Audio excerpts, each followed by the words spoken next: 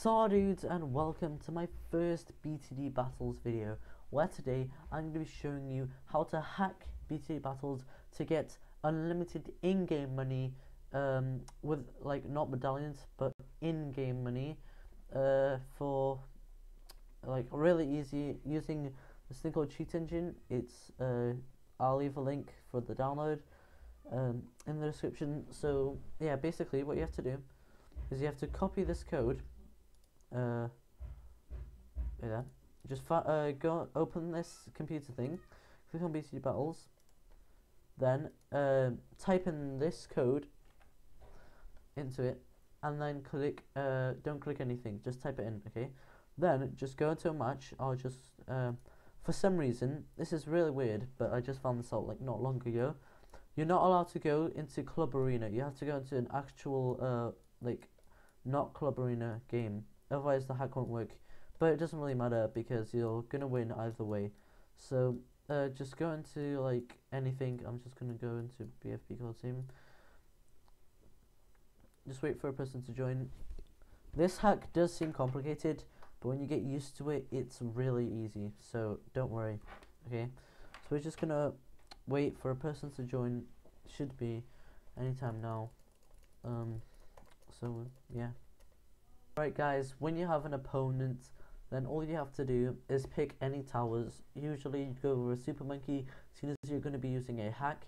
So I'm just going to go for, make sure you get a cheap tower that can protect you right at the start before you turn on the hack. And then just like get some uh, super monkey and another tower and then just, yeah. So next what you're going to have to do is uh, place down a tower so you can actually like live a few rounds and uh, just place down all your spikes and you'll be good. So first click first scan. M uh, sometimes you'll have a bunch of them. You're just gonna have to check through all of them just in case um, they work. And look, basically what you have to do is you have to click on one, press Control B, and then send a balloon. If it's not that one, click on the other one, press Control B, send a balloon and you'll see if it's that one because the things will turn red. Then what you have to do is right click on anything here and then just type, uh, click on display type and float.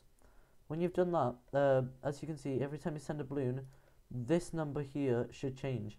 It's always going to be the one that that's in this column right in the middle, and it's going to be the top one. Okay, so you click right click on it, click edit, and um, if it shows this, you're going to have to send a balloon again. And if it shows this, where there's a number after the minus and then there's a, a dot, then you just delete the number after the minus and type in 0 and press enter and it should give you unlimited eco. Sometimes you just have to do it twice and uh, there you go.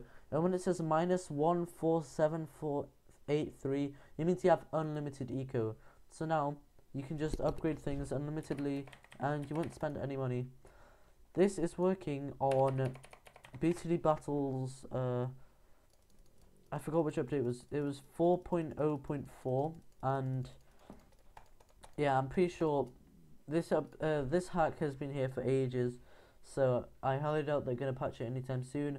So definitely do it before they patch it though, um, and yeah, it's a really fun hack and get unlimited money.